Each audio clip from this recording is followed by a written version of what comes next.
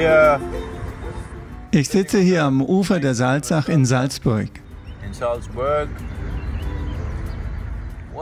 Nun, ich habe hier etwas Gesellschaft aus der Vergangenheit. Es gab eine Zeit, da habe ich so viel Zeit damit verbracht, einfach nur auf das Wasser zu starren und auf die zahllosen Formen, die es annimmt.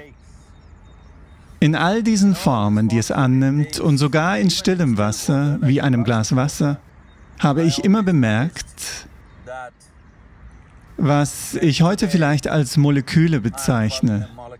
Aber ich habe immer gesehen, wie die Wasserpartikel ihre Form und Gestalt verändern und viele verschiedene Dynamiken annahmen, was die Leute für verrückt hielten.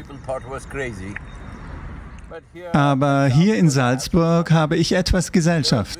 Da war Viktor Schauberger im frühen 20. Jahrhundert, der viel Zeit damit verbrachte, viele Aspekte der Natur zu beobachten, wobei Wasser ein wichtiger Aspekt war.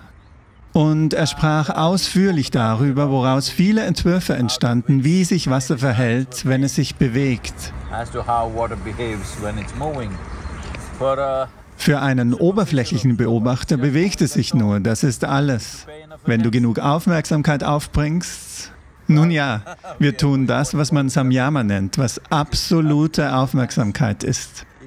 Wenn du diese Art von Aufmerksamkeit aufbringst, nicht nur die Form und Energie, die das Wasser ausstrahlt, die Lebendigkeit des Wassers und die molekulare Dynamik des Wassers, die sich ständig verändert, je nachdem, wie sich das Wasser in verschiedenen Leben, in verschiedenen Menschen unterschiedlich verhält.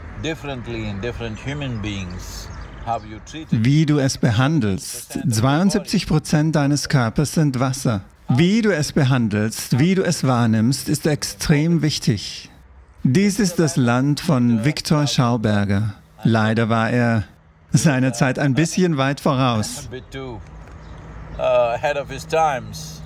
Als die deutsche Besatzung kam, hielten ihn die Nazis für einen Verrückten oder einen Wahnsinnigen. Und sie wollten ihn in ein Irrenhaus stecken.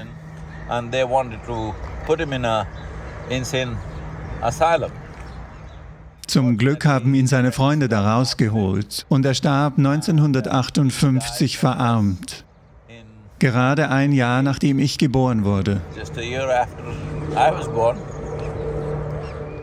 Und hier sind wir nun, denn meine eigenen Beobachtungen des Wassers, sei es bei vielen Dingen, eine Sache, die für mich wirklich in Resonanz steht, ist, dass ich beim Beobachten von fließendem Flusswasser viele, viele Größen und Formen von Ellipsoiden sah, die sich formten und entformten und wie sie Energie ausstießen.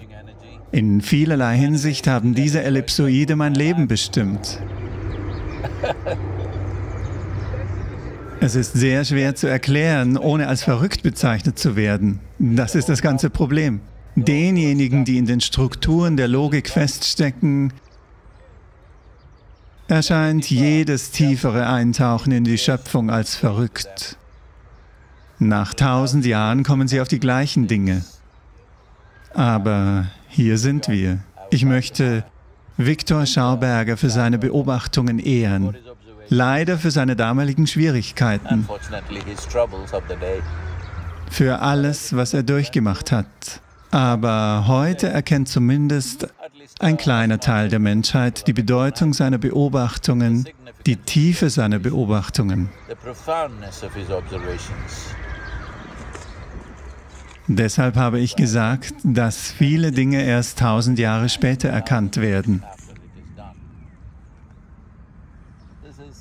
Das sind unglückliche Umstände. Zumindest müssen wir in Zukunft Umstände schaffen, in denen neue Dinge willkommen sind, egal wie verrückt sie aussehen. Das bedeutet nicht, dass jeder seine eigene verrückte Theorie aufstellen kann. Aber jeder sollte Aufmerksamkeit zeigen. Wenn wir Aufmerksamkeit, genügend Aufmerksamkeit gezeigt hätten, hätte ich dann die Rette den Bodenbewegung machen müssen? Jeder würde definitiv wissen, dass der Boden ein überaus lebendiges Wesen ist. Etwas, das lebendig ist. Etwas, das das Leben mit einem solchen Überschwang ausstößt. dass wir überhaupt zu dem Schluss kommen können, es sei leblos.